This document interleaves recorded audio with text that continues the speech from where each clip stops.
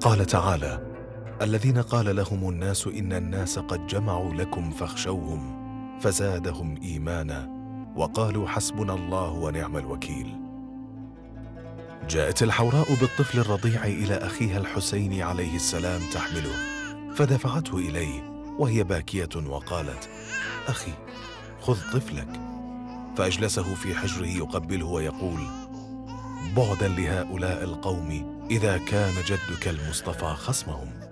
ثم أتى به نحو القوم يطلب له الماء قائلا يا قوم قد قتلتم إخوتي وأولادي وأنصاري وما بقي غير هذا الطفل وهو يتلظى عطشا من غير ذنب.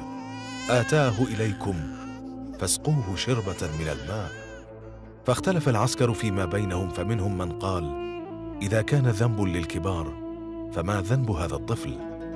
ومنهم من قال اقتلوه ولا تبقوا لأهل هذا البيت باقية. فلما رأى ابن سعد ذلك صاح بحرملة ويلك يا حرملة اقطع نزاع القوم قال فما أصنع؟ قال ارم الطفل بسهم. قال حرملة.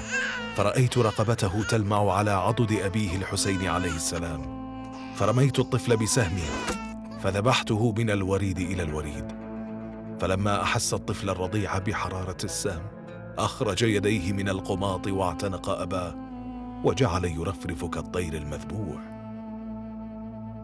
فملأ الحسين كفه من دمه ورمى به نحو السماء ما سقطت منه قطرة قائلا اللهم لا يكن أهون عليك من فصيل ناقة صالح. ثم قال عليه السلام هون ما نزل بي إنه بعين الله. يا رب إن كنت حبست عنا النصر من السماء فاجعل ذلك لما هو خير منه وانتقم لنا من هؤلاء الظالمين. فنودي دعه يا حسين. فإن له مرضعة في الجنة. ثم جاء به إلى المخيم فاستقبلته ابنته سكينة قائلة أبا يا حسين لعلك سقيت أخي الماء وجئتنا ببقيته. فقال الحسين عليه السلام خذي أخاك مذبوحا من الوريد إلى الوريد عندها صاحت واخاه وعبد الله أما النساء فإنهن لما رأينه مخضبا بدمه مذبوحا من الوريد إلى الوريد.